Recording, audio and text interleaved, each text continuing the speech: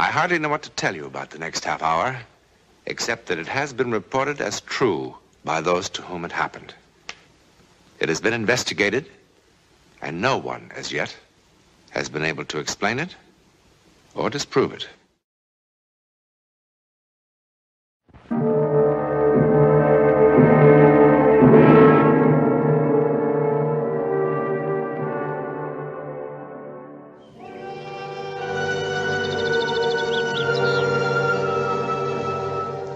This historic French chateau in the Rhone Valley is for sale. Or rent, as many are these days. But either way, the price is rather steep. If you're seriously interested in either buying or leasing this particular one, there are some things you should know. For instance, in its more recent history, around 1892, this chateau was the scene of a dark and chilling drama.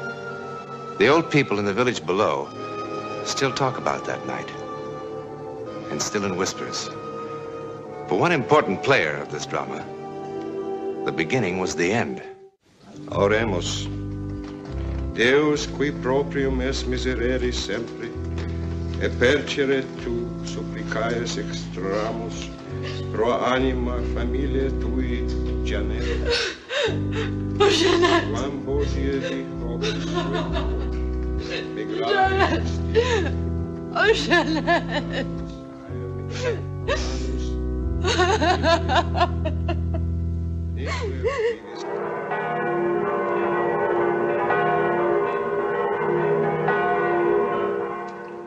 that those who are joined together by thine authority may be preserved by thy help through the same Christ our Lord. Amen.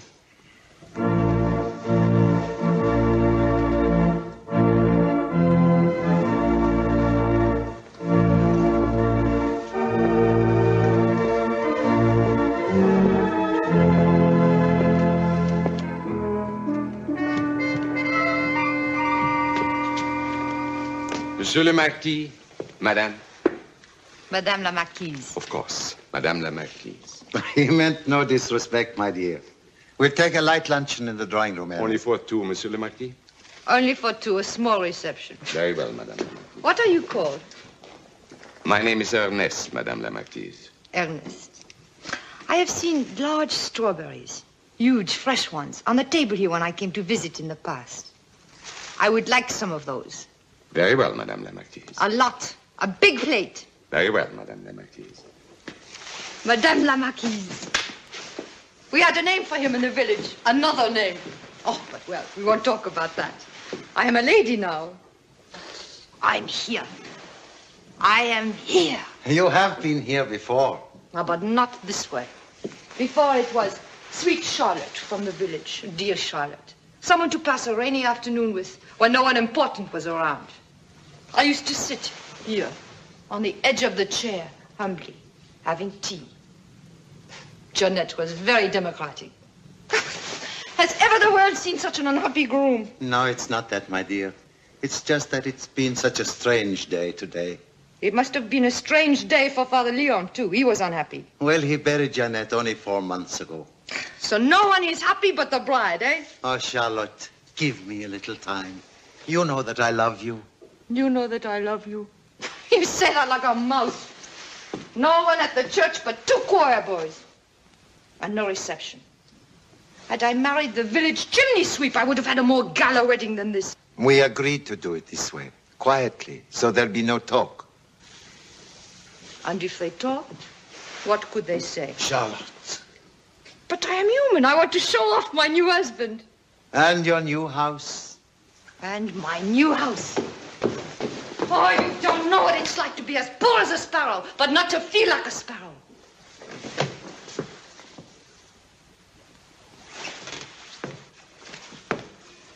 Actually, I think some of this furniture is rather old. Not old, my dear. Antique. When you are rich, something old is antique. But when you are poor, something old is something old. Do you think I could learn to play the piano at my age?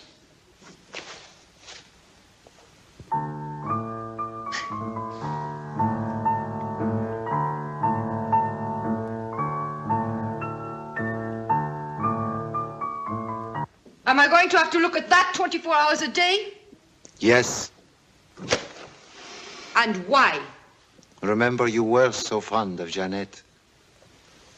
Well, wasn't I? Didn't I come to visit her every dreary day of her illness, bringing her soups and custards and jams, and sitting by her bedside to be sure that she ate every spoonful? Charlotte! A little delicacy. Ah, you've changed from the impatient lover who complains so bitterly. Why does it take so long? Why does it take so long? Charlotte! And don't talk to me about delicacy. The servants might overhear. She was a mouse, too. Oh, a pretty mouse. You should have been very happy. And she was an aristocrat. And how did you fall in love with someone so lowly as the widow of a common soldier? Tell me, Your Honor. Charlotte. No, tell me first. No, tell me first.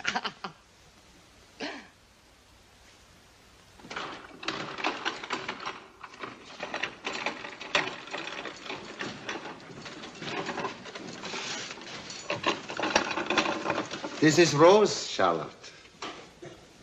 I have seen Rose in the market many times. Always the best for the marquise. The best meats, the best vegetables, the best this, the best that. Look at the size of this one. Open your mouth.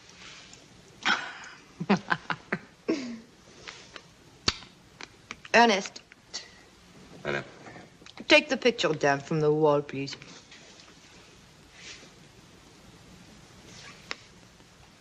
Very well, Madame la Marquise. I am so hungry. Eat, my darling. Eat.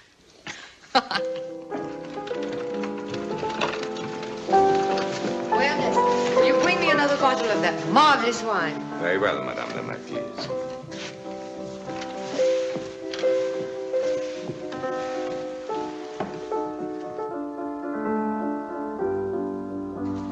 Jeanette play the piano very well?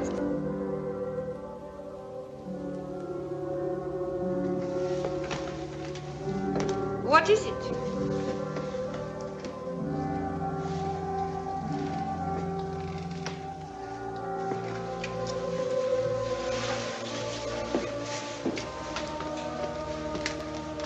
What's the matter?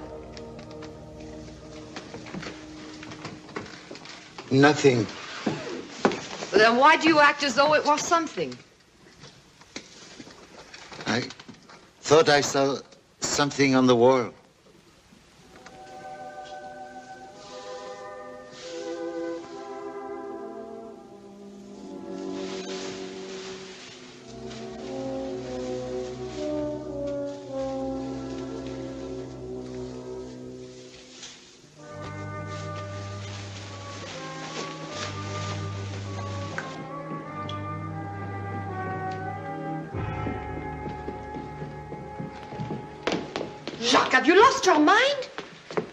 What are you doing?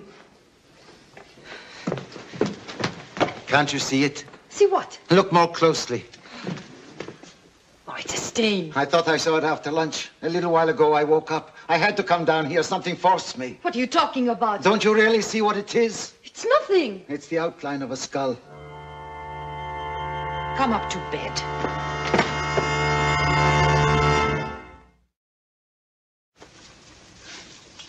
Platters and platters of wonderful things.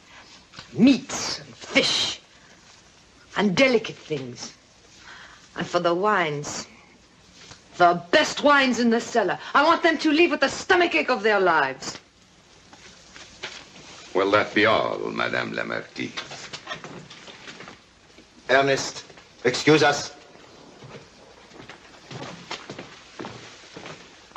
You too, please. Well, what do you think? Do I look like a real marquise now? Will you be proud of me at the party? Charlotte, I tell you it's worse. It's much worse today. The wall again. You've got to come and see it. It's so much clearer now. Rose has been scrubbing at it for an hour. You've got to come and see it again. Come and see what? Oh, for the love of heaven, Charlotte, come and see it. Come and see it. Come and... All right, let us go and see it.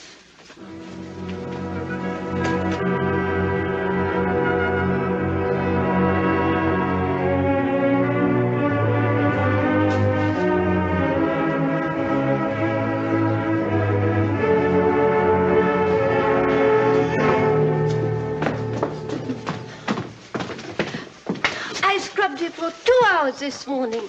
I have tried everything, lye even. It is probably some water seeping through the wall. Then wouldn't it be damp, madame? Well, what do you suppose it is? Charlotte, Rose, when you were a little child, did you ever play a silly game? A game, madame? Or you know, like looking at a stain on a wall or the ceiling and imagining it to be something other than a stain. Or a butterfly, or an elephant, or a ballerina in a little skirt. Yes, madame. I remember that game. And what does this stain remind you of? Rose, leave us. Stay. Look at the stain. Let us see how much imagination you have. It is just some spots. That's all. But I can see lots of things in it. Two blackbirds sitting on a fence. A skull. A dancing bear. Rose, I told you to leave. Yes, monsieur le marquis. But later on, come back and clean up this mess before the party. Yes, madame. Baiting the girl like that. Charlotte, have you lost your mind? No. Have you? But why won't it wash out? Look at it, can't you see? More and more, it's becoming Jeannette. Jeannette! I tell you, it's true. And I tell you, you need a doctor. Already, I think you're beginning to have a little fever. And I would like you well for my party. There won't be any party. We must lock this room up until we find out what this is. Oh, Chéri, this is such nonsense. You're talking like a little boy. But what is it? A stain in the stone. It is not in the stone. No, it is in your conscience.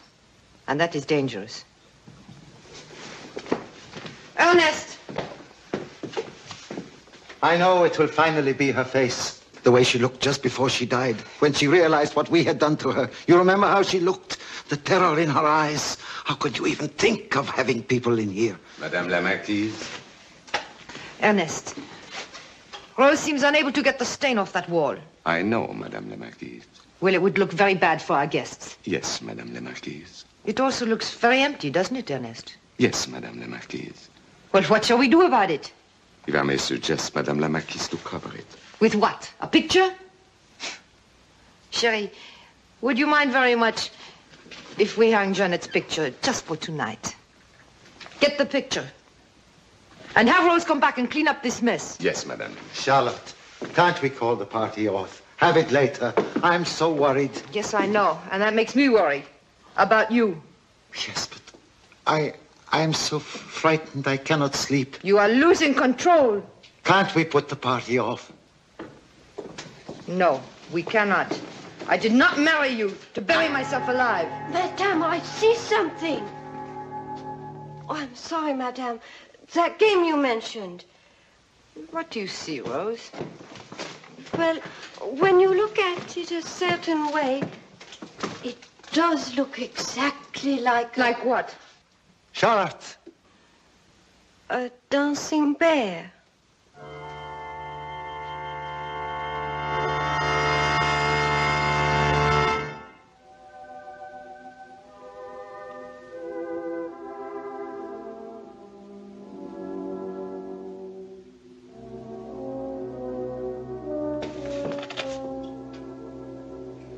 I thought I had said good night to all of my guests.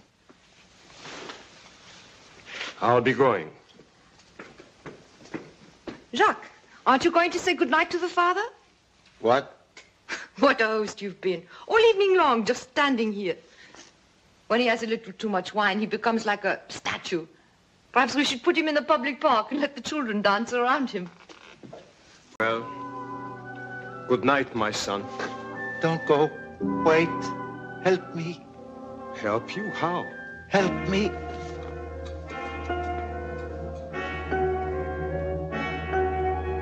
I'll get it. It's in the library. He really shouldn't drink so much wine. Seems to me he drank very little. If you want to go now, I'll explain. I'll wait.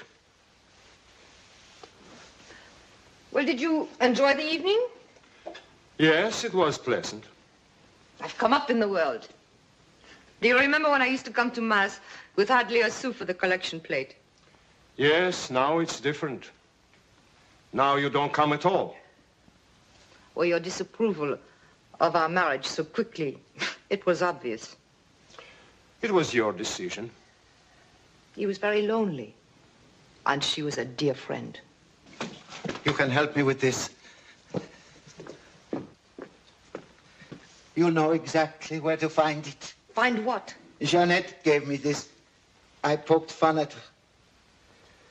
When did I last come to confession? Some months, I would say. Bless me, Father, for I have sinned. At least I remember how to begin. Jacques, confession is on Saturday. Why don't you go to bed? Find it for me, please. Find what? Is it in Daniel or Isaiah? The king who saw something on the wall? Really, I must insist. Midnight is no time for this. I'm speaking to Father Leon. It's in the book of Daniel. In the same hour, there appeared fingers, as if it were the hand of a man, writing upon the surface of the king's wall. Yes. That is it. Then was the king's countenance changed, and his thoughts troubled him. And the joints of his loins were loosed, and his knees struck one against the other. Then was the king's countenance changed, and his thoughts troubled him. How well you speak the holy words, Father. What was on the wall? The words, Mene tekel phares. God hath numbered thy kingdom, and thou art found wanting. I want. Thou art weighed in the balance, and art found wanting. God! God! God! Charlotte, I can see it still. Jacques. I can see it on the wall. Enough! Through the picture. Enough! Ernest! Bless me, Father, for I have sinned. Madame la Marquise. Ernest, help the Marquis upstairs.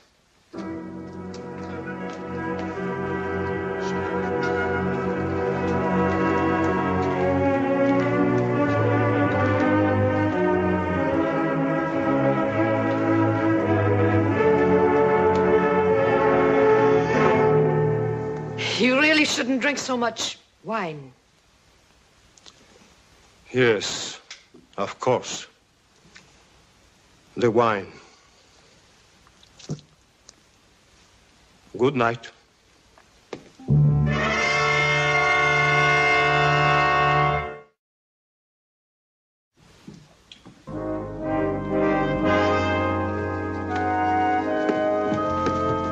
Is he all right? Monsieur le Marquis seems to be. Seems to be. I'm sure Monsieur le Marquis will be all right. What's the matter? Oh, nothing. Tell me. I've known Monsieur le Marquis since since he was a little child. But I never saw him like this. You've never seen him when he's had too much to drink? Madame la Marquise, it isn't a drink. If he has too much to drink, he is gay. He does all sorts of pleasant things, but he doesn't cry. He seems to be in such despair. He asked for a writing paper. What? Then a moment later, he changed his mind. He said, no, Ernest, it's no use. And then he started talking about... It is probably just the wine that affects him differently this time. What was he talking about? His first wife. I see. If Madame la Marquise would kindly excuse me, I'm very tired. What did he tell you of his first wife? Oh, nothing. That she was a gentle, kindly lady. Well, we all know that, don't we, Ernest? Yes, Madame Marquise.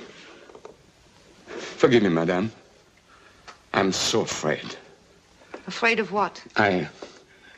He has become so melancholy, so so strange. I fear for his life. I understand. Between us, I have felt the same thing. We must watch him very carefully, Ernest. Good night. Good night, Madame la Marquise. And thank you.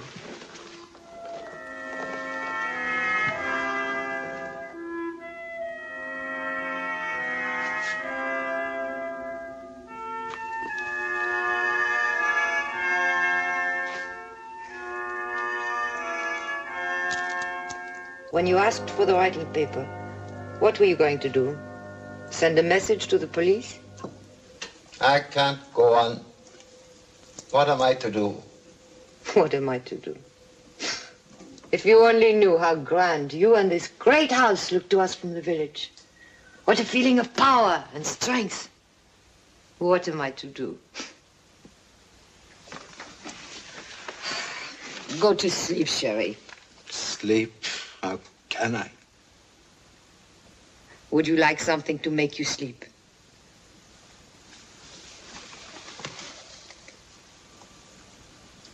I think I would. Well, it's late for the servants.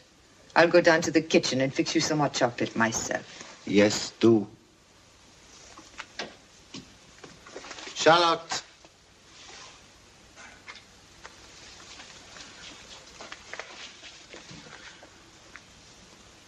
I want it to work quickly. Not like Jeanette. You are such a child.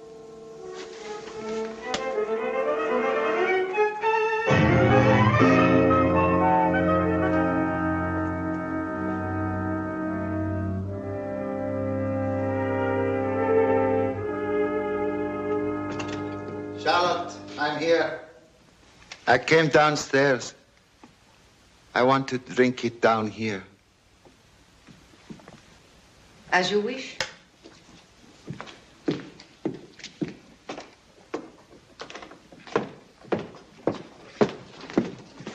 Drink it all. It will make you feel so much better. I know it will. Charlotte, What? look at the wall. Oh, the wall again. Look at the wall, Charlotte. Such nonsense. Look!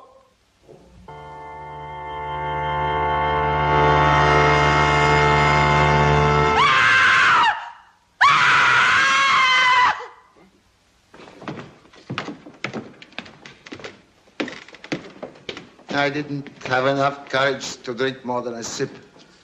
Now, I must find courage enough to face the guillotine, eh, Inspector? What about her? She touch any of this? No. It must have been her heart, the shock. She dropped to the floor like a stone after seeing it. Don't touch it! I had to cover it. I couldn't stand it. I couldn't stand it.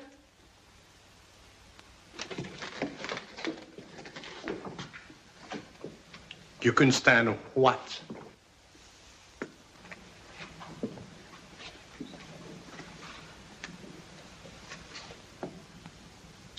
The Marquis de Roget went to the guillotine, insisting there was an image on this wall. And at his trial, his servants swore under oath that something was on the wall. Something that could not be removed. Well, there is something, isn't there?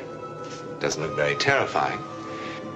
But in the village, there are those who will tell you that on the anniversary of her death, the face of Jeanette sometimes reappears.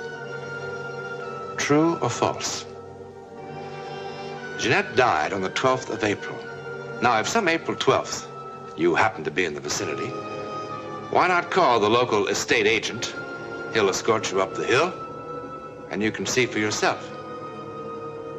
In a moment, something about next week. When a dominating personality lives in a house for a long time, he seems to leave an indelible and sometimes evil imprint in the very atmosphere of the place. If you're inclined to doubt this, be with us next week and see what happens to the captain's guest.